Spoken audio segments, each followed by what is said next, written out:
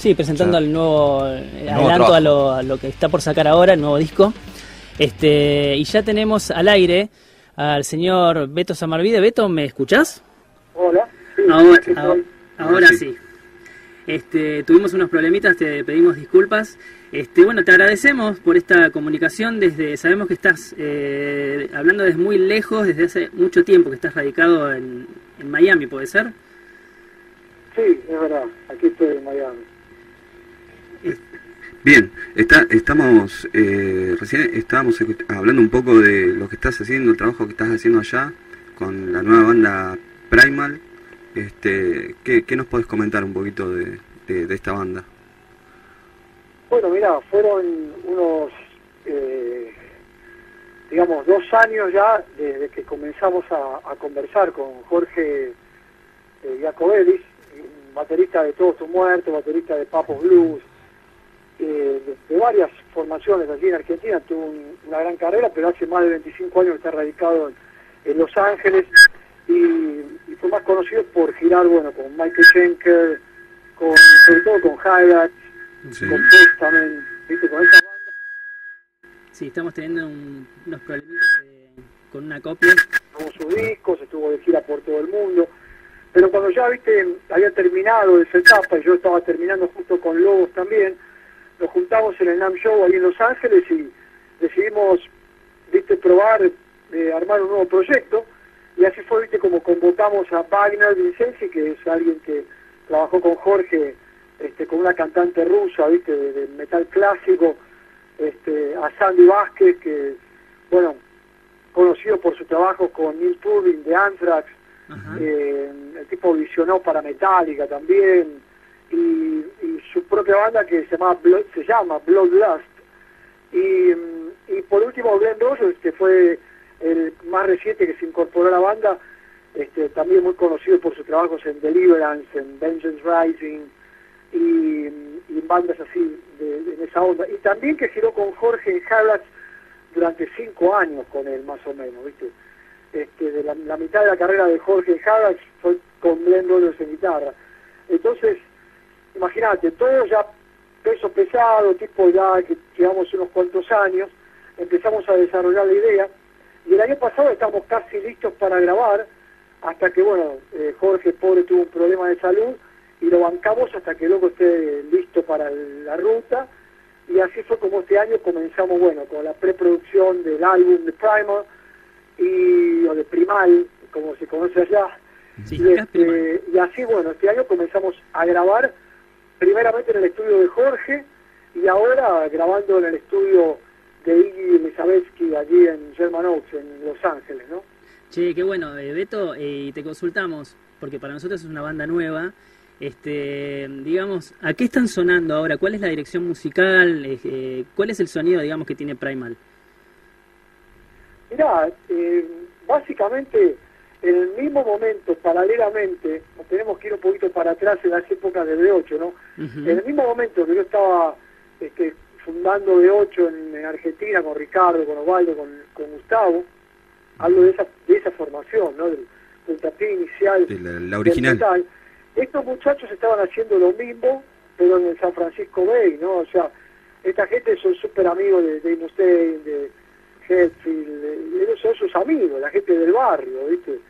Eh, o sea, imagínate qué puede salir de Alberto Samarvide y de Jorge Jacoberis en la fusión con estos tipos que este, llevan tantos años de metal allí, ¿no? Del, del metal, el thrash metal y del metal clásico, digamos, ¿no? Porque también está Wagner que tiene una beta más, más clásica, ¿viste? Así Glenn es más, en una beta por decirlo, ¿viste? Como era la de Waldo, ¿viste? Sí, improvisador, eh, fresco, ¿viste? Un tipo así que, que no prepara nada, sino que Claro. eh, explota en vivo, ¿viste? Con lo que le sale del corazón. Y también tenemos a Wagner, ¿viste? Que sería más en la, en la, en la beta de, de los de los Masters clásicos, ¿no? Así que un poco cuesta explicar con palabras por dónde va la cosa, ¿no? Pero ya ustedes lo van a escuchar. No sé si tuvieron la oportunidad de escuchar el demo nuestro con los dos singles Afflictions y Someone is Coming, ¿viste? Que serían los dos temas con los que arremetimos el, año pasado. Sí. Este, pero bueno, eso digamos que sería lo más potable de Primal, ¿viste? Lo que van a encontrar en el álbum son esas dos canciones, pero también va a haber otros 10 temas más, ¿viste? Que ya van con una impronta más metal y, un poco de trash también, ¿no? Muy bueno. Este, y te vamos a tener por acá. Eh, vi que ahí ya está, está desplegada una gira para Argentina, ¿no? Sí, no como yo quisiera, porque la verdad que Neuquén es un lugar que amo, ¿viste? Y que me encantaría poder ir ahí, ¿viste? Recuerdo todavía cuando fuimos al, este, al, gimnasio municipal, ¿viste? La verdad que tengo recuerdos muy bonitos de tocar ahí o de tocar en clubes también más pequeños, ¿no? Pero este, de tocar en Plotier, de tocar en lugares así, ¿viste? Que, este, o en General Roca o en Chipoletti, en lugares que, del Valle, ¿viste? Que también amo mucho, ¿viste? Que tengo gente muy querida allí.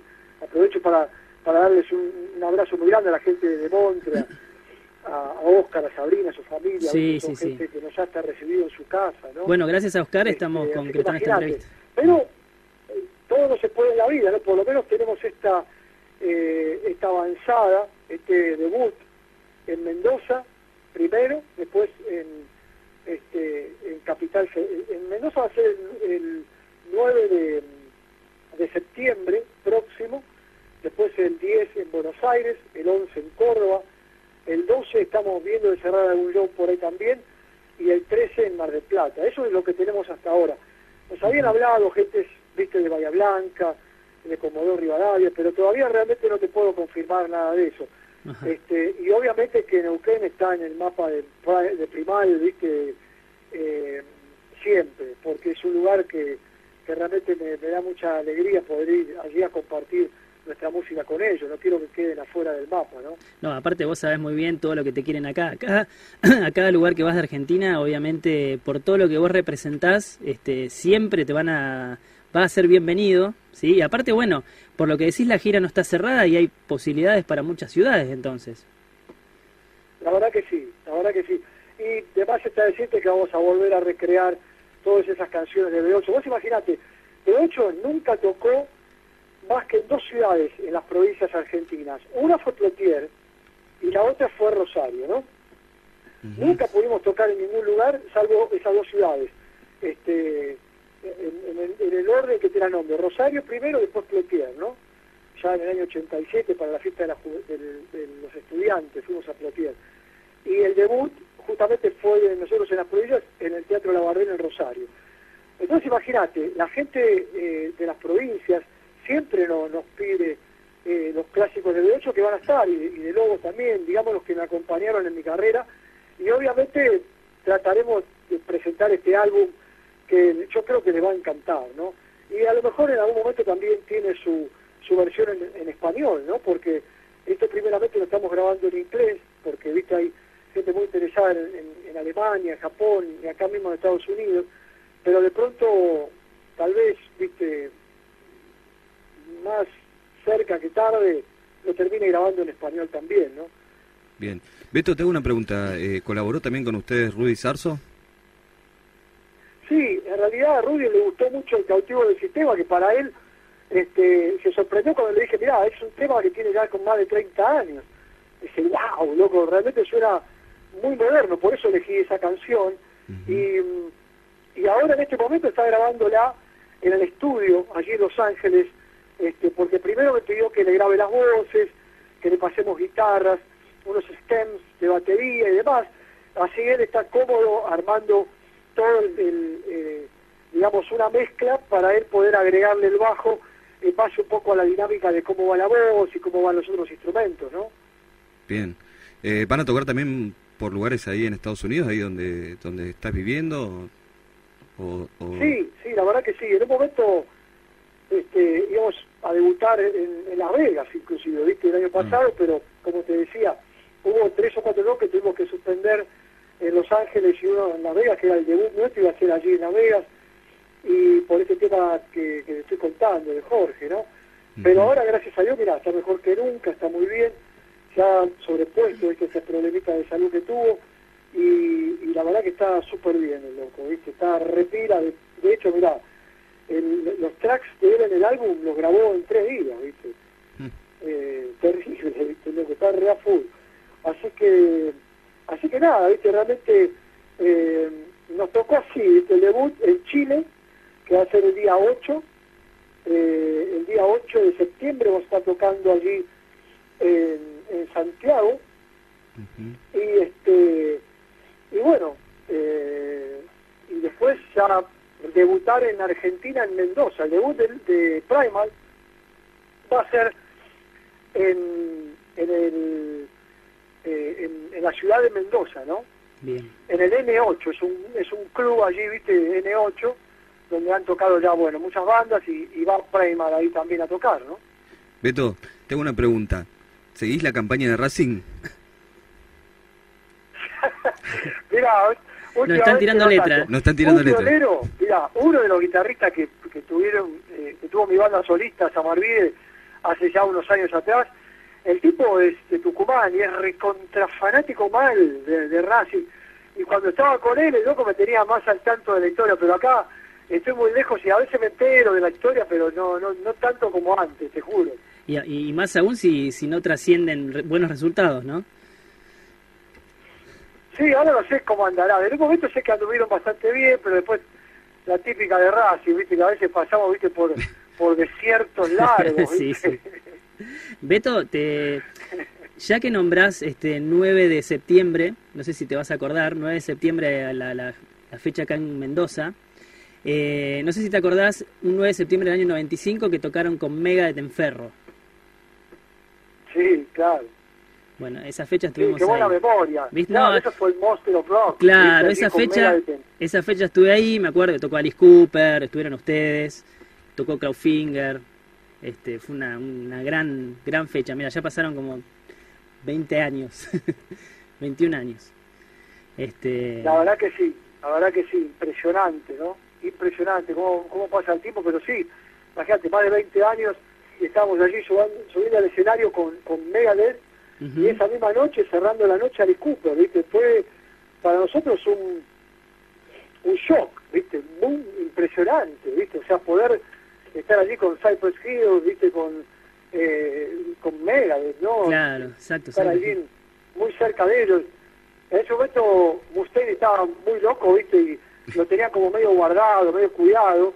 este Pero la verdad que así todos disfrutamos mucho con ellos porque son tipos que aman Argentina, ¿viste? Gente muy muy fanáticos de Argentina y de todo lo que ellos viven allí cuando van, ¿no?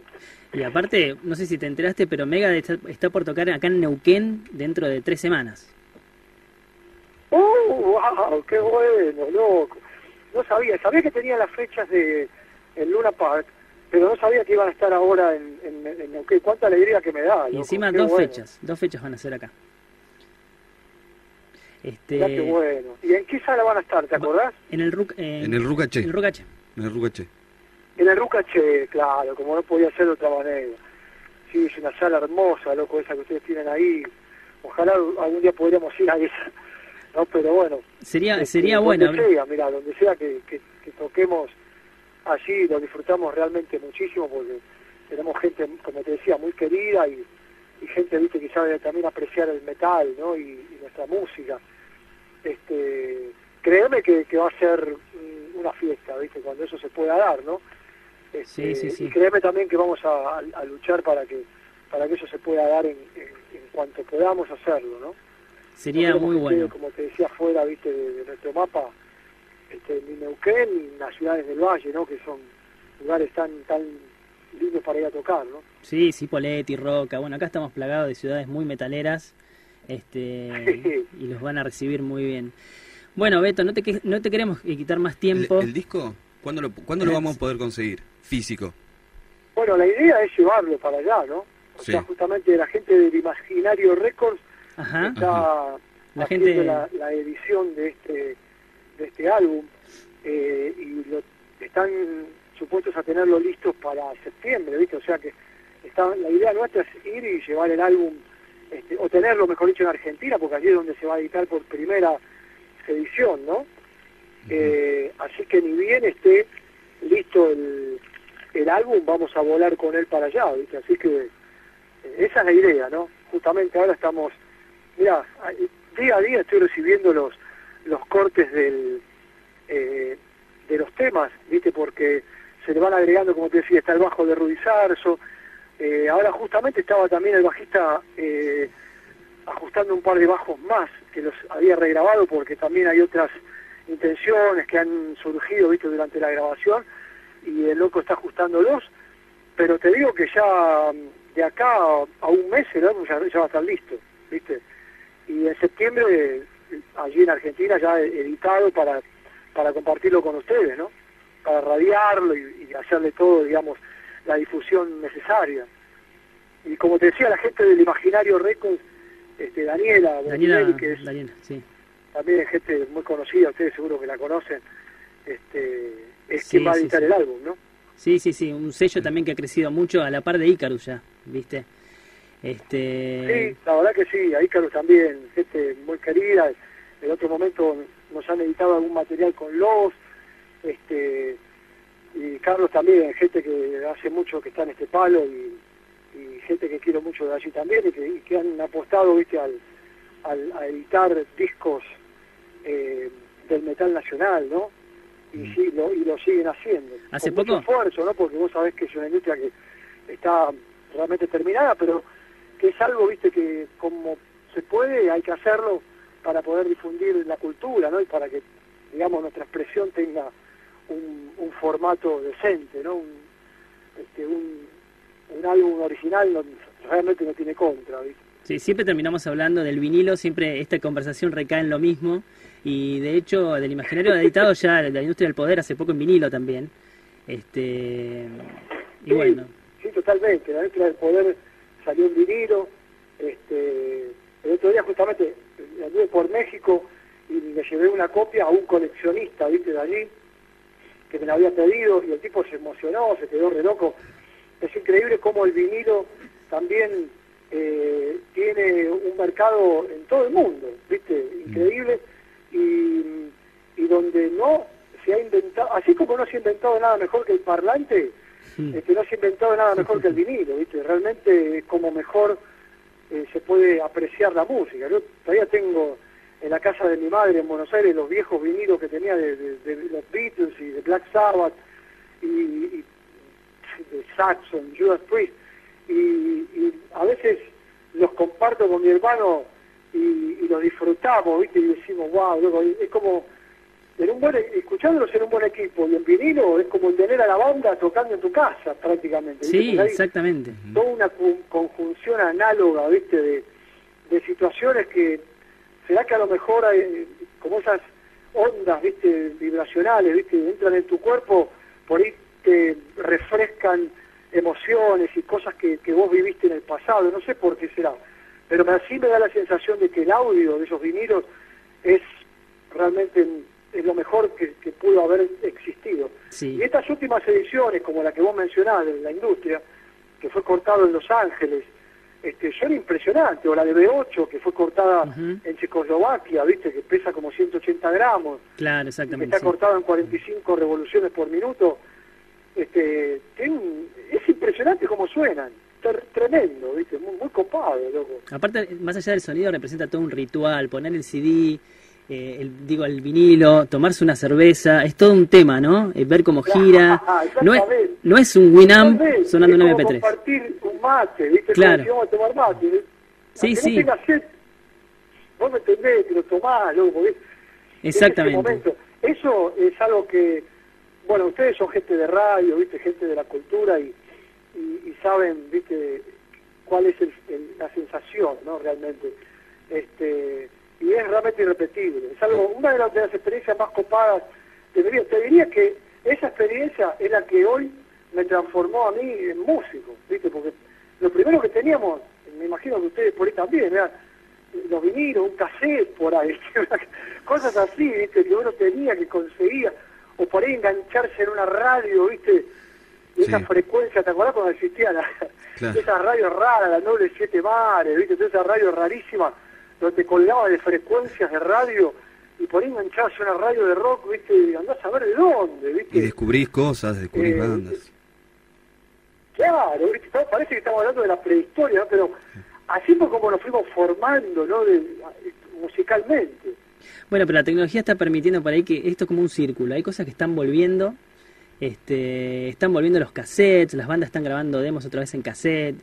Se está recuperando, digamos, lo tangible, el hecho de tener algo en la mano, ¿sí? Y de disfrutar de, qué sé yo, el producto de una banda y no en una computadora, ¿entendés? Así que está bueno esto de los vinilos. Este, está, está muy bueno. E-, esa es también la idea nuestra del programa, de pasar música, de contarle a la gente, no reproducir tandas de MP3 y, y por ahí son cosas que quedan ahí, ¿no? Sino de aprovechar más lo que es el producto final y, y el laburo. Totalmente, y el laburo, sí, totalmente, definitivamente. Sí, eso, eso la verdad que yo realmente se los agradezco, ¿no? Porque este, es, la única manera de, de llegada. Vos imagínate hoy que hay una bestia mediática, viste, que te, dice, te diseñan lo, que tenés que comer, vestirte, pensar y qué sé yo, y tiene una, una boca de, esa bestia mediática que está todo el tiempo bombardeando. La única relax, viste, el, único oasis que hay en, en, las frecuencias, viste, urbanas, son radios como la, como la, la de ustedes, como programas como Mental Manía, donde, donde la gente puede eh, captar y proyectar, viste, otra, otro hilo de pensamiento mucho más trascendente, ¿no? La, la, idiotez y la pavada diaria, ¿no? Totalmente. Este, lo último que te voy a preguntar, eh, vos estás en, seguramente estás bueno en una zona de playa con un clima totalmente opuesto al nuestro, debes estar en Ojotas, este, mirando seguramente el mar y estás en una en un área donde nosotros conocemos según lo que dicen los libros, digamos, lo que es Florida, Miami, en la zona de, de, donde se gestó el trash, el death metal, digamos, ¿hay, ¿queda algo de todo eso, de todo ese inicio, digamos, allá? ¿De lo que podés ver ahora? Vos sabés que no, eso en realidad, porque mira, yo vivo en Miami, pero vivo en la parte oeste, yo vivo más bien como a unos 45 minutos de la costa, ¿viste? Vivo en el pantano, Vivo en la parte donde están los indios Mikosuki, ¿viste? Como, diría, a dos kilómetros de mi casa está la reservación de los indios de los Mikosuki, que son originarios de aquí, de Miami, porque los indios Miami no eran de Miami, eran de Alabama, de otra región.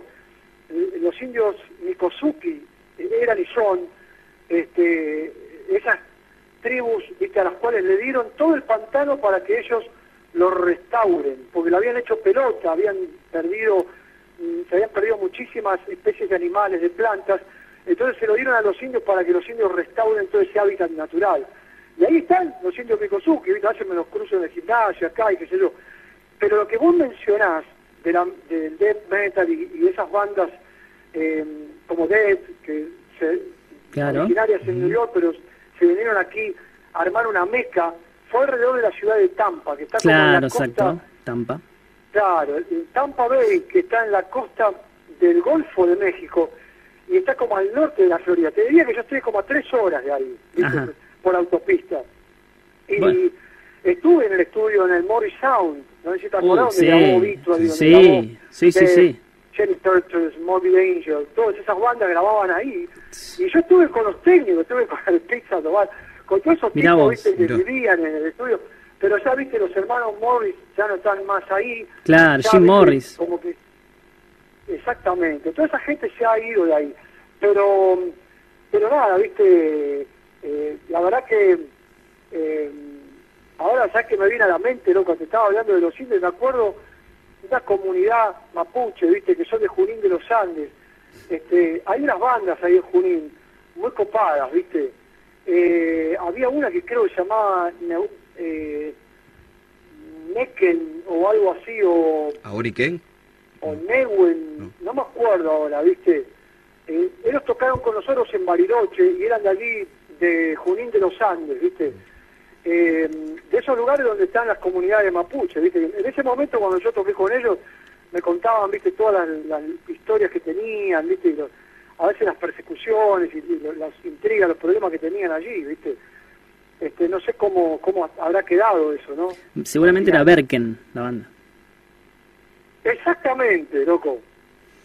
Esa misma. Exactamente, Berken. Sí, y, y ¿sigue tocando ellos? No, ahora que la nombrás la vamos a, la vamos a tratar de ubicar a ver si la podemos, si podemos contactarnos con ellos.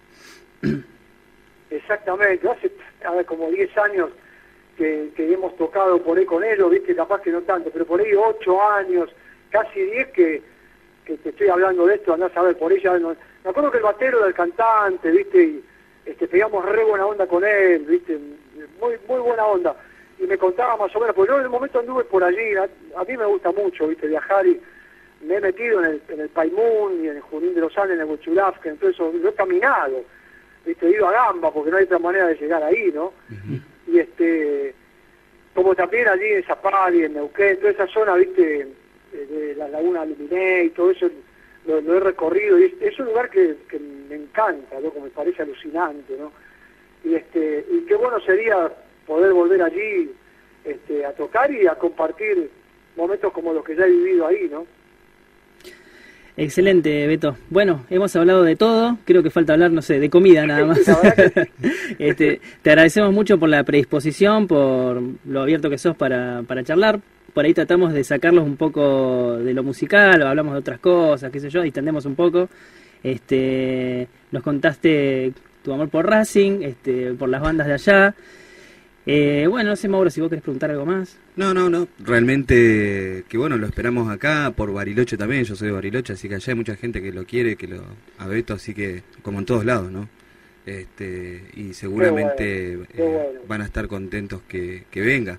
Realmente. Pues es que me quiero aprovechar de mandarle un saludo, si ustedes me dejan, este, a un muchacho que es el primer clarinetista ahí de la orquesta de Neuquén, ¿viste? que es Osvaldo Listen eh, Osvaldo Listenvieg, creo que es un apellido medio así, pero él se hace llamar Osvaldo Listen. Y este, él está organizando un festival de música eh, para fin de agosto allí en Neuquén, es el Festival Patagonia. Y este, le quiero mandar un abrazo muy, muy grande, ¿viste? porque gente muy querida también. Bien. Buenísimo. Eh, bueno, Beto, este, ojalá los tengamos por Neuquén en este año, si es posible. Y, bueno, escucharemos el disco cuando esté y, bueno, capaz que en algún momento nos comunicaremos de nuevo.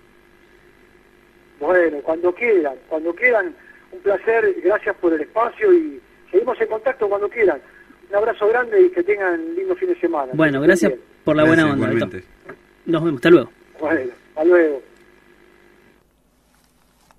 Pasaba, pasaba recién eh, Beto Samarvide, una institución de, del heavy metal de Argentina.